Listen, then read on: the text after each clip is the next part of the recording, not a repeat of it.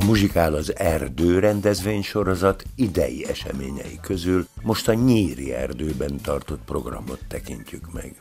A helyi erdőgazdálkodó szívesen fogadta az eseményre érkezőket, akiknek az itt elterülő erdőterület megismerésére nyílt lehetőségük.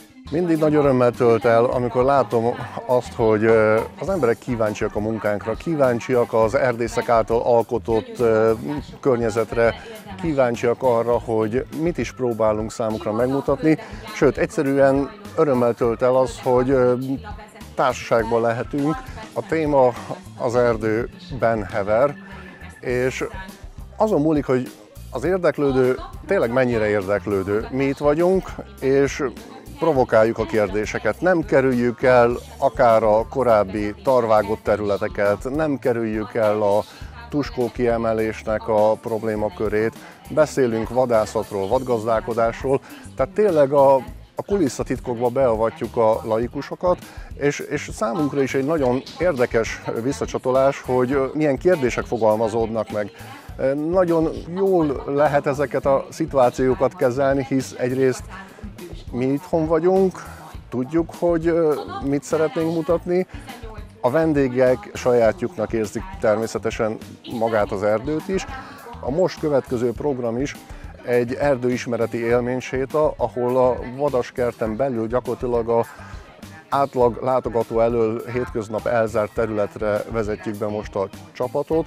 Arra valami kevés esélyt látok, hogy tényleg mm, jelentősebb vadállományjal fogunk találkozni, egy ekkora társaság, zenebonával kísérve, stb. Tehát azért ez, ez nem biztos, hogy össze fog jönni, de ha már vadcsapást, vadnyomokat, az etetők, a szórók környezetét tanulmányozzuk. Ha már beszélünk a vad jelenlétéről, akár a vad táplálkozásának a nyomait megtaláljuk, bár vaddal valóban nem sikerült találkozni a területen, azonban a helyszín növényvilágának megismerése legalább ilyen izgalmas volt. Egy kis történelmi kitekintéssel megtudhatta a látogató, milyen fafajok segítségével sikerült megfogni a területre oly jellemző homokos talajt. Az egyik ö, ilyen szárazságtűrő fafaj, ami az erdőtelepítéseknél szerepet játszott, az akácfa. Tehát, hogyha megnézzük, ugye az akác az jelenleg már hungarikum. Ez Amerikából, az Epelecs hegységből származik, egy másodrendű fa, tehát nincs igazából Amerikába nagy jelentősége.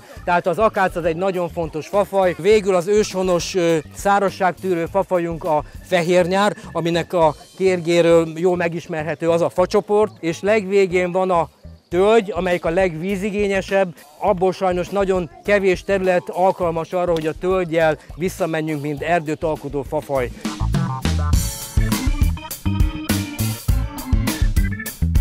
És ha már tölgy, egy másik helyen egy kiemelkedően fontos tölgyfával is megismerkedhettek a sétán résztvevők.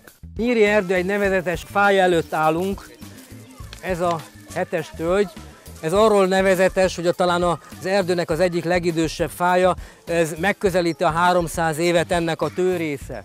Régen a ö, tölgyeket úgy is meg lehetett újítani, hogy kivágták, és a tuskó mellől a sarhajtások ö, megeredtek, és ez a tuskóból hét ág eredt meg, és egy ilyen nagy fává nőtték ki magukat. Sajnos a ö, többi ága a hétből már ö, csak töredékeiben látható, de úgy gondolom, hogy az egyik emléke egy matuzselleme a nyíri erdőnek. Hogyha itt ö, körülnézünk, itt fenyőerdőt látunk.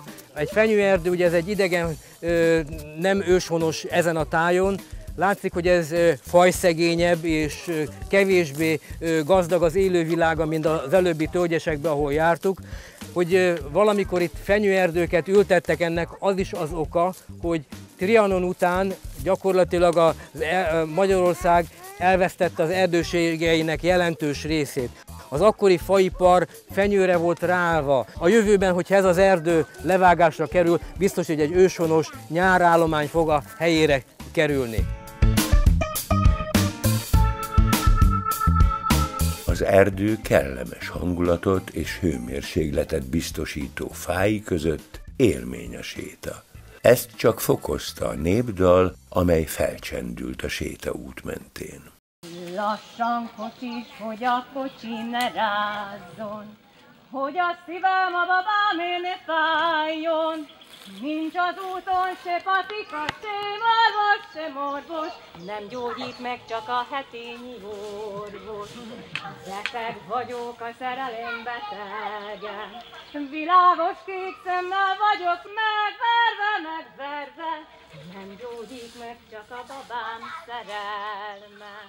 Legyen szó kulturális vagy természeti értékről, a helyszín tele van érdekességekkel. Ezek bemutatása egy élmény alapú program keretében az erdőgazdálkodó számára is fontos. Nyilván az egyik legkönnyebb feladat, ha már valami megvan, azt megőrizzük.